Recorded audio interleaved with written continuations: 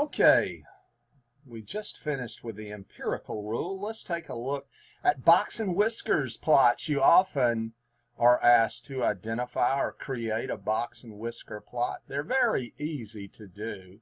You've always got uh, dot on the left, dot on the right. We've got our minimum and our maximum values of the data. That's simply the smallest data point, the largest. Then we've got our box.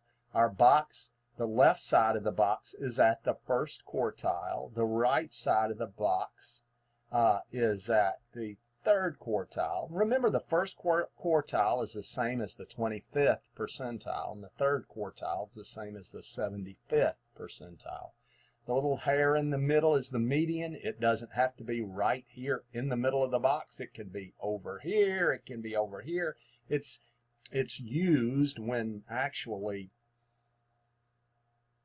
determining how your data is distributed. That means you can tell how it is shaped by where the median is, where the quartiles are. The box and whiskers, the whiskers simply connect the box out to the min and max. Regression.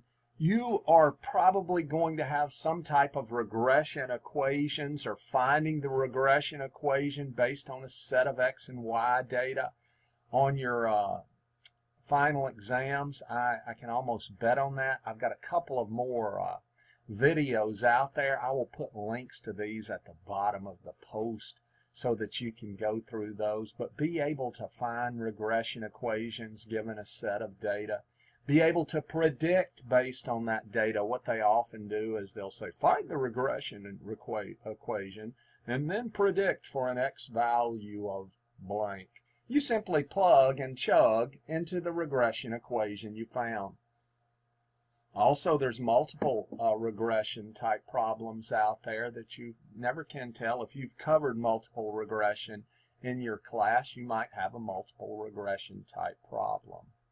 Understanding correlation, when we talk about the regression equation, uh, we need to understand the correlation. The correlation coefficient R is always between negative 1 and positive 1. And think about it this way, the stronger the correlation, it's getting closer either to the left, which would be negative correlation, or stronger to the right, which would be positive, or closer to the right, which would be positive correlation.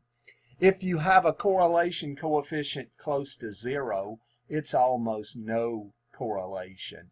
So perfect correlation here, straight line, and it's going up, so it's 1. Here, it's pretty strong correlation there, very strong, an R value of 0.81. Here uh, is weak positive, a value of 0.45. This would be perfect negative, an R value of negative 1. This would be a very strong negative correlation. R value of negative 0.92 on this one. And this looks like somebody just took and threw some M&Ms into, into some jello or threw them up in the wall. There's, there's no hardly any correlation at all right there. The R value is very close to 0, 0.04.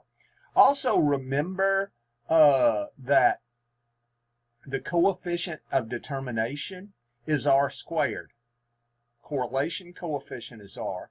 Correlation a coefficient is r, and if I square it, I get the coefficient of determination, r squared. It's literally the correlation coefficient squared.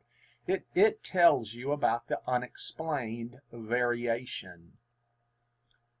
Factorials, combinations, and permutations.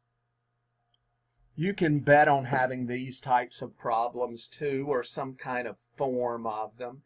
With factorials, I say just always have your calculator or Excel or some other technology ready to go. As an example, 5 factorial equals 5 times 4 times 3 times 2 times 1, which is 120. But, you know, have your calculator, have Excel ready to do those. With Excel, you just type in equals FACT, open parentheses, and put whatever number you want to take the factorial of with uh, combinations. Combinations are the number of ways of something happening when order does not matter. All right, in your calculator, Excel, uh, Excel does it easily. Most scientific calculators do it very easily. Like to check yourself, the combination 7C4 would be 35. Uh, permutations. Permutations are the number of ways of something happening. When the order does matter, note it as NPR. Uh, use your calculator, Excel, or other technology there on those two. Like 10P4 would be 5040. When order matters, you're going to get a lot more in terms of if you are using the same numbers. Good example, combination. I got 10 people. I'm going to give three $50 gift certificates. It's a combination because they're all getting the same prize. Order doesn't matter.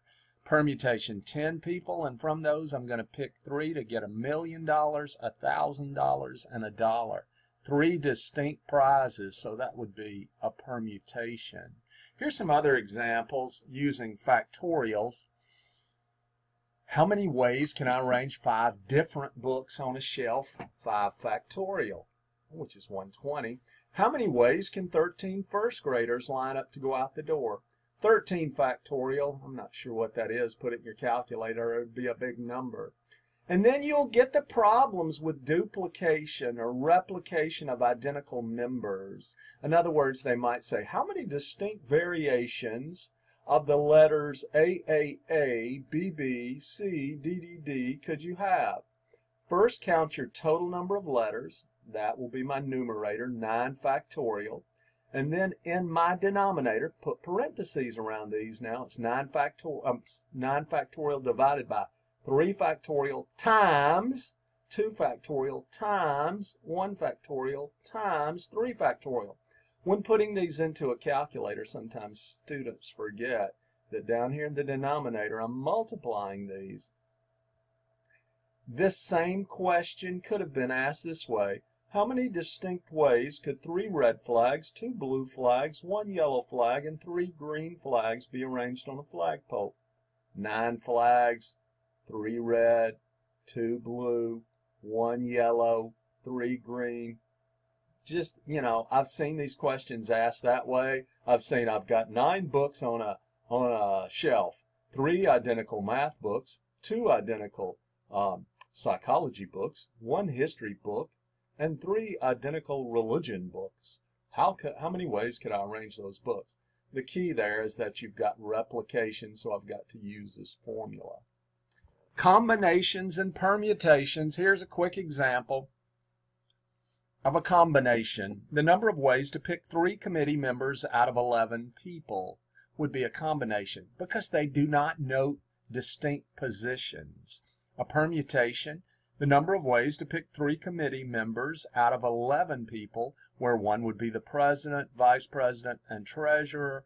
Uh, and what I mean by that is one would be the president, one would be the vice president, one would be the treasurer. So not only could you be picked, you could be one of those three positions. So that would be a permutation.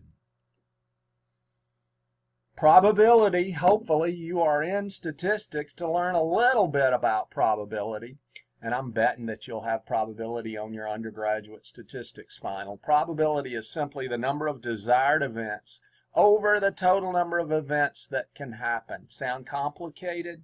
It's really not. What's the probability of rolling a 5 on a six-sided die? Well, there's only one 5 on a six-sided die unless you're playing with some kind of funky dice, so it'd be 1 out of 6. What is the probability of picking an ace out of a shuffled deck of cards? There's four aces, 52 cards, 4 out of 52 simplifies to 1 13th. What about, what is the probability of picking a red ace? Well, there's two red aces, the red of hearts, um, the ace of hearts, and the ace of diamonds, so it would be 2 out of 52 or 126. Or what if they said, what is the probability of picking the king of clubs out of a deck of cards? There's only one king of clubs, so it'd be 1 out of 52. All right, here's another one. What is the probability of picking an ace or a jack out of a shuffled deck of cards?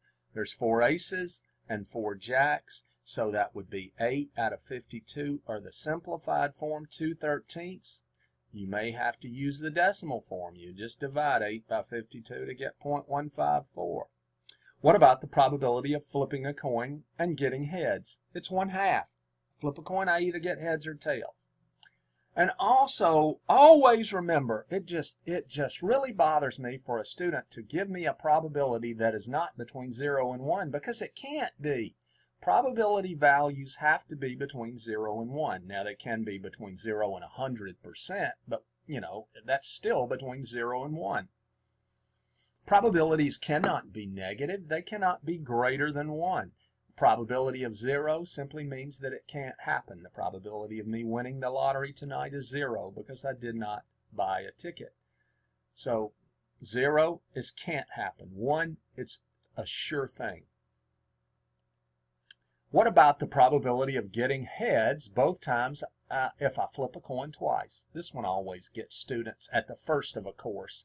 Hopefully at the end of the course they'll understand.